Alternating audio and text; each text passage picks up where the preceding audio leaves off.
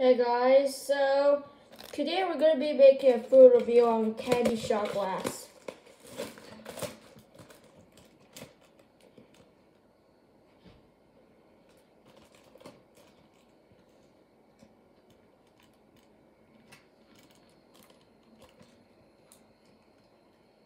B since 1970.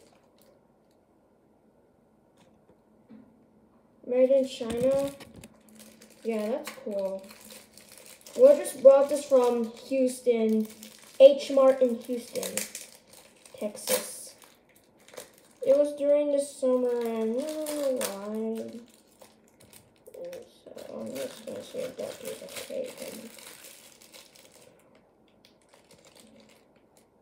Oh, I'll fill this up with a smoothie.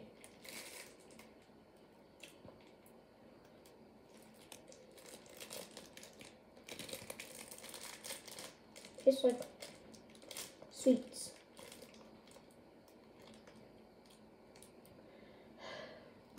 Peppermints are so sweet, you know.